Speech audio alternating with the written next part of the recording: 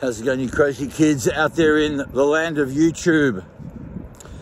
Today I wanted to talk about the concept that you can't change things, but you can choose them. So, what do I mean by that? So many of us are trying to change circumstances and things that are outside of our control. And more often than not, we find ourselves becoming frustrated because, yeah, as you're probably discovering, when you're trying to do that, it's not working out. And so we get frustrated, we try harder, and it just creates this crazy loop.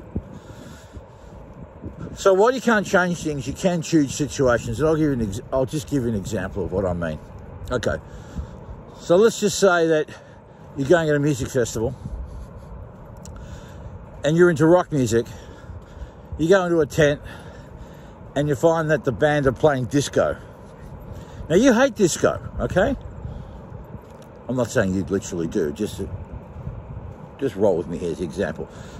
So you're a rockhead, they're playing disco in the tent, you're getting pissed off, you're getting annoyed. You're not going to change what's happening in there, are you? It's just, just not. You can jump up and down, carry on, and security are going to carry you out. But what you can do is choose to make a decision to go, okay, I'm not into this, so I'm going to leave this tent. I'm going to do some due diligence. I'm going to make sure I check what's going on. I'm going to go check out where the rock bands are playing. And you can be happy, less frustrated. Quite often in life is what we do. We, we find ourselves in situations we're not happy.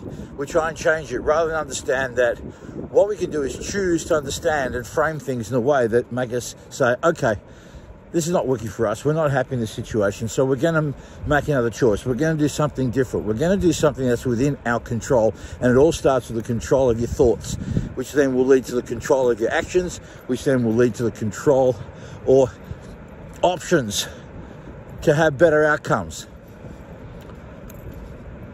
It took me a long time to really work this one out, kids, like so many things in my world. So hopefully you're getting this and it's making sense and more importantly, you're going to be able to apply it in your, in your lives.